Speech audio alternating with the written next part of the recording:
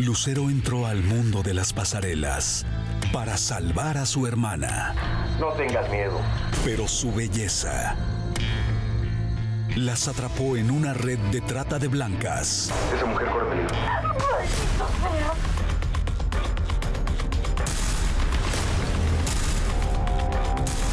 Traficantes del vicio. Estreno viernes 13 de agosto, 11 pm este 8 Pacífico, por Cine Latino.